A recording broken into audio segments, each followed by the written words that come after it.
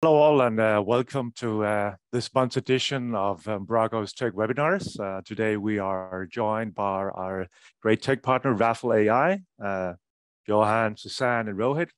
Thank you for joining us. Uh, Raffle will give us an introduction of their product in a second, but uh, first of all, I want to thank you all the attendees and guests for joining us. we're so glad that you're interested in new tech.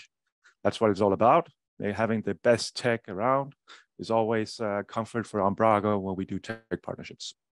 So before we get into the uh, introduction itself of the product, I just want to state that uh, obviously we will have a Q&A in the end. Uh, this recording of this will be recorded as always, so you can get a, a look at, at YouTube uh, afterwards. And, and obviously we do the approximately 30 minutes, including Q&As in the end. So without much further ado, I'll uh, let Johan take it from here. Thank you. Yes, thank you, Jesper. And hello, everyone. Uh, my name is Johan. I'm the VP of Sales here uh, at Raffle. Um, and I'm not going to talk too much about the product. I'm just going to say we're the best search engine in the search engine in the world. Uh, I'll let Sam explain a little bit about why in a minute. Uh, just to introduce the two uh, other people from Raffle here besides myself. I have uh, Suzanne, our CEO and co-founder, and then we also have Rohit, who is our partnerships manager. I'll also jump in towards the end and just to give a little bit more of an update uh, after the presentation, uh, a little bit about, you know, if you want to talk to us uh, about Raffle itself, about partnership uh, or whatever else it might be, uh, your customers, your clients. Um, we'll catch up on that towards the end. But for now, I'll pass the word to Suzanne, who'll take it from here. Hello, hi, I am Suzanne. I'm the CEO of Raffle. Uh, and also one of the co-founders. So I will uh, take you through um, some of the essence of Raffle and also the technical part, of course. Uh, but also the value for for the customers in the end and some customer references. So that is what we're going to talk about the next, or I'm going to talk about the next 20 minutes. So if you have any questions, there will be room for that uh, afterwards. So so please uh, write them down and and then we will make sure to um, to answer them afterwards. So Raffle is a next generation enterprise search, meaning that everything we do is based on AI and machine learning, deep learning as well. Um, so um, we will go through what the difference is uh, from the existing search functions to what Raffle actually do uh, today. So this uh, all started with uh, frustration. And uh, I could see very clearly in 2017 when I started researching on this that I was not the only one having this frustrating of not frustration of not being able to finding anything uh, when I went to websites at um, you know at um, at big suppliers or uh, if I just wanted to find something for for internal purposes as well. Um, um, my emails, my documents, and everything. So this developed into a product, and uh, the research uh, that we found out there was also that um, we we know that about 20% of our working time goes with actually finding information, and we know that most customers can't find the information on our websites either. So why is it that you know, there isn't a search function that works like Google does in the consumer world, world why can't we um, have that working also in the corporate world? And there was uh, there was some um, particular reasons for that actually when I met up with uh, Ole Winther in 2018, who's a professor at KU and DTU and one of the leading uh, professors in uh, artificial intelligence in the world uh, we found out that this was actually a perfect timing to do something about this uh, for the corporate world. So we wanted to uh, solve uh, the, the search, the broken search in, in the corporate world. And we think we have done that. So with Raffle, we have based it on one engine. It's zero shot engine. I'll get back to what zero shot means but it has uh, endless use cases. So what we're going to focus on today is, of course, Raffle Site Search, which is, which is the search that can be incorporated in an Umbraco uh, solution. Uh, so that your customers can actually get a search function that works really, really well from day one when implementing uh, big websites uh, with your clients. So we also do have um, a workplace search for uh, the customer service. So when they then have, you know, you, they often have live chats or something like that on the website, then it goes through to customer service. And in this customer on on on these uh, in these customer service uh, ticket systems, you can also have Raffle implemented that will come up with answers to that. And then we have the workplace search, as I mentioned before, uh, which is basically finding your information and uh, all your knowledge across these different systems on your workplace, um, which uh, makes it very, very easy to find information. So where did we where where did we start? So we wanted to we wanted to make a product that was very, very easy to implement. I'm from the commercial side. So I wanted to, I, I, I saw it from a customer point of view, uh, whereas Ole, of course, is from the technical uh, side. So he saw it more from what is actually possible uh, in the AI world. So we wanted to make a plugin solution that had excellent performance. Uh, and, and that is where we are today. So how do we make a plugin? What is actually required to make a plugin? So we wanted to go live within hours, not months or years. We wanted to integrate with all the existing software that are available, of course, today, and also uh, existing websites. We wanted to have a self-improving technology so that our customers wouldn't, you know, have to bother about it. Uh, as they do today with traditional search. They have to, to do a lot of manual work and tweaking, and, and you do as well, I know, for your customers. So, so we wanted a technology that could self-improve, just be a plug-in, uh, work out of the box. So, and it should also build to scale with business. And that means it, it had to also understand all the languages in the world. Um, so the, the task was pretty big, but we actually managed to do that. So getting to zero shot, uh, which is required to make a solution that is a plugin that just works out of the box on any data uh, that is out there. Um, we had to go up against the traditional search and see what were they actually doing today. So traditional search are like a dictionary, I like to say. So a dictionary is basically words and synonyms, if you're lucky, um, uh, but not spelling mistakes. Spelling mistakes are really, really difficult to handle when it comes to traditional search. Uh, you can, of course, teach it some spelling, mistakes, but it is quite difficult for it to understand. On the other hand, traditional search is very good with large data sets. So we wanted to, we want also to make a search that besides from being really good at understanding what you're actually saying, so reading the whole book, so to speak, like um, like a human being, we also wanted it to be very um, uh, very good on very large scale data. So, so this is uh, this was actually the task from the beginning. So instead of with traditional search, and now we just took Elasticsearch as um, um, as as as an example, it could as well be Solr or whatever search system is out there that is built on Elastic and Solr, which is basically all of traditional searches today. Um, what you write is basically what you find. So if you write a word that is what you will find and it will go and it will find those words and it will it will count the words and then where wherever that word is you know represented um, um, the most times it will actually rank that higher. And that doesn't really give you the, uh, what you want. So what we wanted is to what you mean is what you find so you can basically write a sentence if you've read a book as a human being and you say and I, I asked you, when is the passage in that book where this boy gets off the train and goes home, go home to his mother, and he falls, you know, somewhere. And and it doesn't have to include any of those words, but basically Raffle can find it from the intent and the context of what you're writing because it read the whole book like a human being. So we not only find the right document or the right URL, we also find the right passage in, on, uh, in the actual URL or in the document that is, um, for example, if they have PDF documents on the website or uh, if they have other uh, documents, they, they can even have videos where we take down the metadata. Uh, they can have, um, yeah, whatever data they would have uh, on a website, uh, we can find it in that sense. So, so Raffle ingest all. So the zero shot, this is uh, this is a very good. We, we do benchmark all the time towards all the the existing um, um, uh, search functions out there. So when you if you speak to when you speak to us, we would be able to tell you what is the benchmark against the search function that we are up against, so to speak.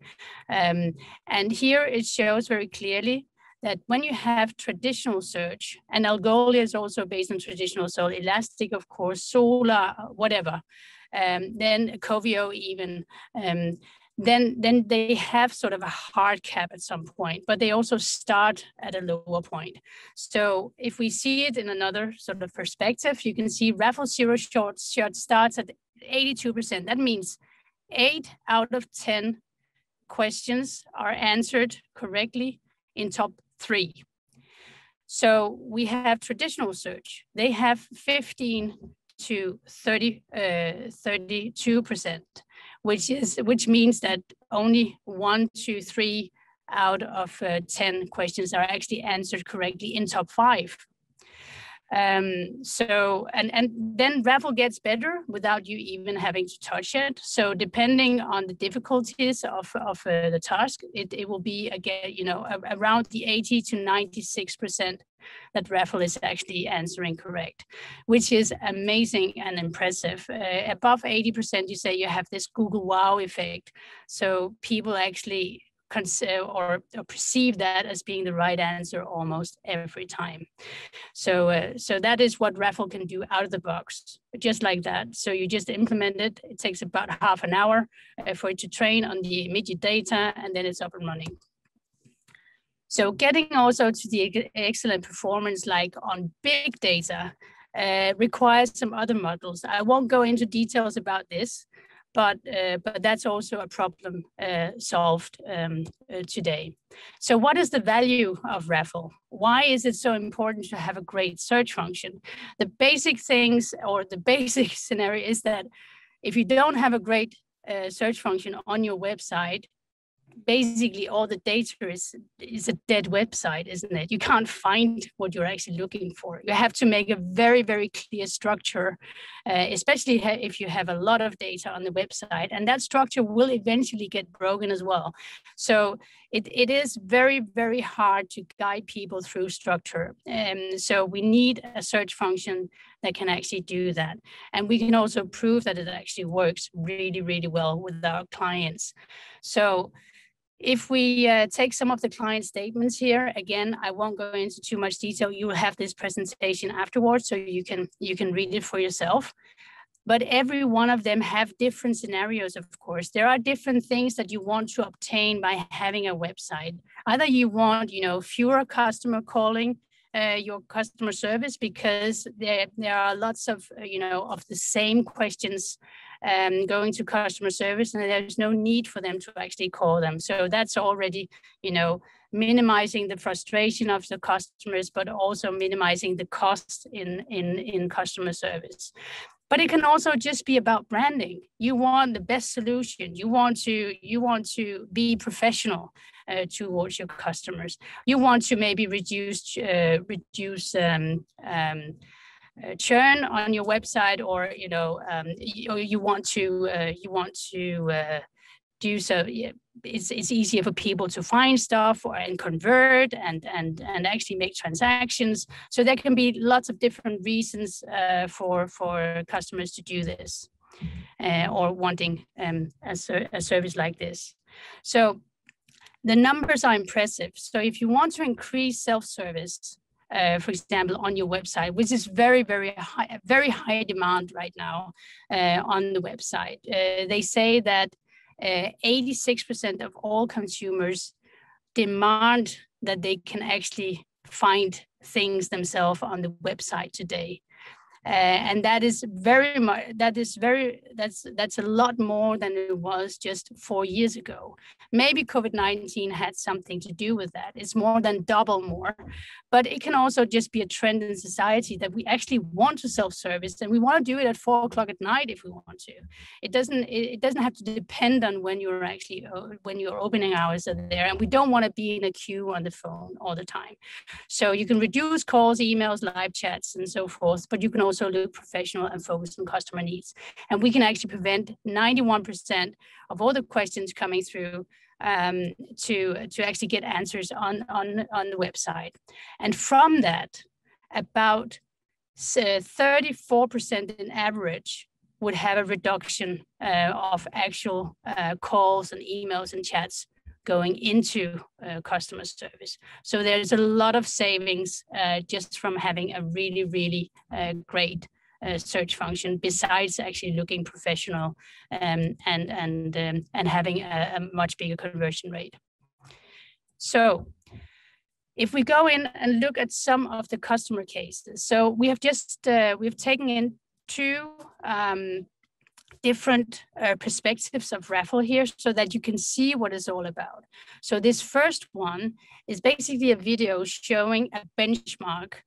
Um, this one was actually is actually a Coveo search, uh, which is on uh, the website of Smarsh. Smarsh is a very big uh, corporate in the US uh, doing security systems for the insurance business and banking. Um, and uh, and we we wanted to make a benchmark so saying okay if we put raffle on top of your data which you can actually also get uh, you can get it from us on your customer data uh, we can make these benchmark analysis very very quickly on your customer data so we did it on smarsh and this is what uh, came out so what we do is um, we take a scrape of, uh, of the website because it's public data, so it's easy. Um, and, uh, and then we see, okay, what would Raffle answer? What would Smarsh answer? So now we are in the Smarsh uh, section. Uh, so we got a regulatory uh, letter, and then we have put Raffle on top of it. Oh, sorry. Oops. That was not the intention uh, I have to just put you up here so that I can get the right button down here, sorry. Uh, we got a regulatory uh, letter and then we put um, Raffle on top and you can actually see that Raffle will come up with the right answer immediately. Smarsh again, how do we protect the organization? It comes up with blocks and stuff like that. And over here, we actually answer protecting your organization leads to this and this. Again, we'll send you this presentation so that you can see support, also just single words. It doesn't have to be, uh, you know, big sentences or anything like that. Again, it comes up with where you actually want to call support and not some blocks about support or what are, you know, the products on, on support. So it actually it, it draws out the intent and the context of the actual search. And then it delivers the right answers from what you actually intend um, with the question. So as I also mentioned in the beginning, Raffle has several use cases. So this one is of course for site search, which is our primary focus when we're speaking uh, with you, of course. But it can also be that some of your clients actually think, okay, it could also be great to have something in customer service because that's sort of the other end of the side, right? If we can reduce the amount of calls going through to customer service, they might also want a tool where they can actually see the answers in customer service. So just for the sake of it, uh, we also show you an email or a, a sorry, um, a video here of how our raffle interactive raffle for customer service would uh, would be. So when you write a live chat on the website, it goes through to a ticket system. That's not our business. So this is not ours. So this is a ticket business, but you can see raffle goes in from the right here. And uh, then you can start, you know, typing in your answer to the customer and you can copy down, you know, all the stuff you want to copy down from from your uh, from these answers coming up from Raffle, and then you can just send it off to the client. And Raffle can also be shown in different um, areas of the screen. So it doesn't have to come in from the right, it can also come in from the left. So this is for the internal purpose. So this was more just to show you how Raffle can actually be connected in different ways for different purposes. It might also be that you actually wanted to um, you actually wanted to um, to implement Raffle after login with your clients. So many of your clients probably have a website, but they also have a platform or portal for their customers. And that's basically also a website. It's just a website that is specialized to, to, to give something to the existing customers. So that is exactly the same solution for us. It's still a search function, and you put it on your website for that portal that is just after login.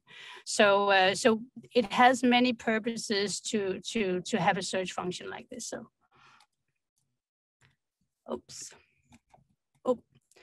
So if we're going into the competitor landscape, just so you have an overview of who we see out there, we see some customer service focus, which is not really relevant in this, but Coveo is one of them. And Coveo is also someone who also delivers to website uh, suppliers, um, and also on top, of course, of, of uh, Umbraco. Uh, there's also Forethought and uh.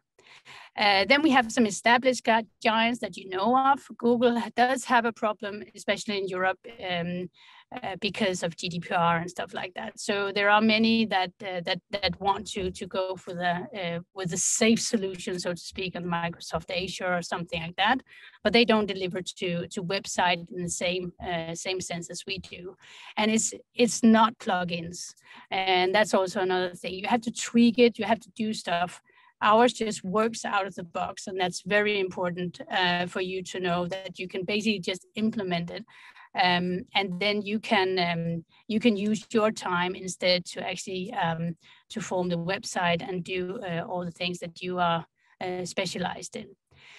And then we have enterprise search like product search. Uh, product search is not really our um, our uh, business uh, because it's it's it's much more like what size do you want or what color and stuff like that. Um, and then we have these cross-system searches as well, which is more or less for uh, for workplace search. But there there are lots of providers out there. But for all of these providers, even on on this shield, except from uh, Google, of course, um, they are based on what we call traditional search.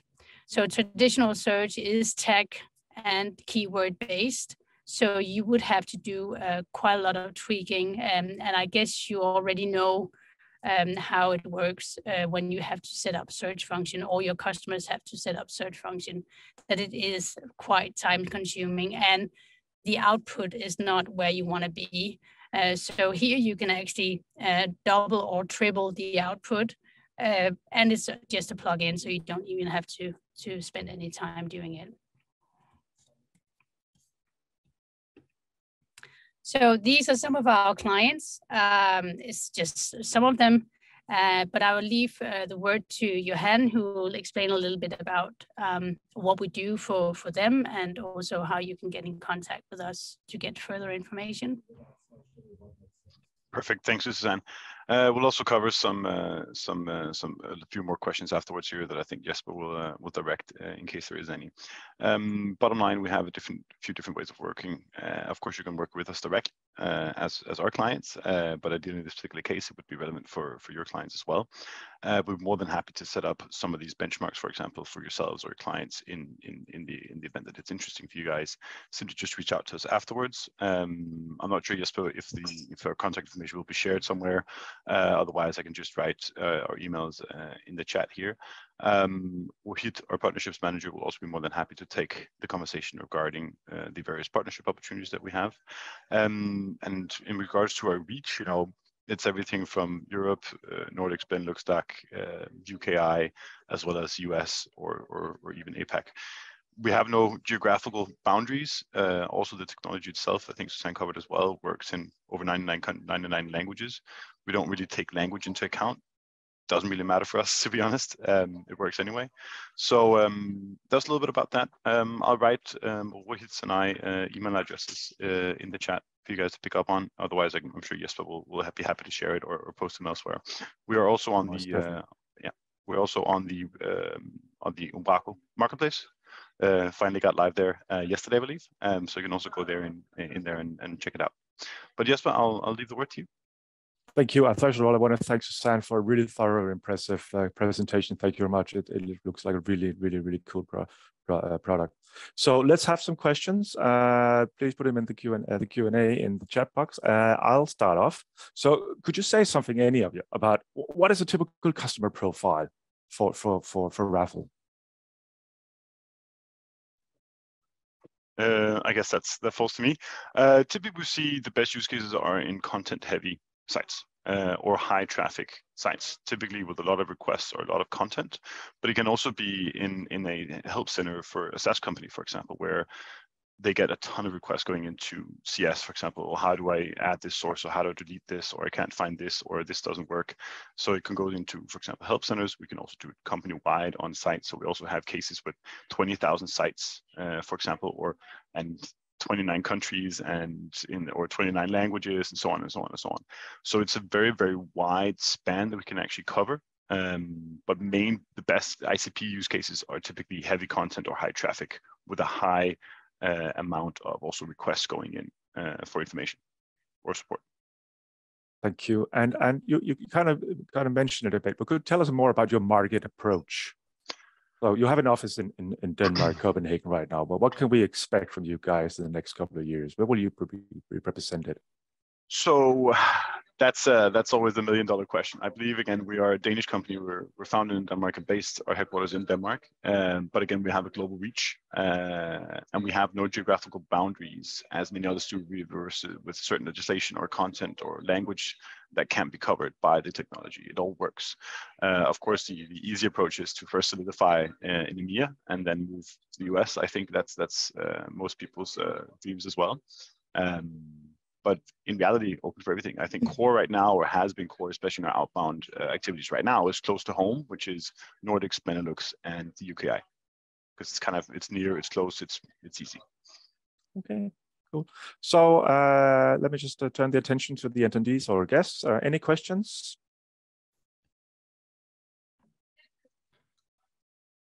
No, doesn't seem to be the case. Oh, no, Okay. That's me well, writing uh, uh, contact. Yeah, yeah, yeah, that's true. Yeah, that's right. Okay. Well, uh, thank you very much for joining us, uh, Team uh, Raffle. Uh, I'm sure, I'm sure someone will reach out for you for more information and the free offer of a benchmark analysis. I must say that is really impressive. So thank you very much. Thank you all for joining us today. Hope to see you again in a month. And don't forget, we are recording, so you can find this uh, a great webinar on YouTube within a short time. Thank you all. Bye.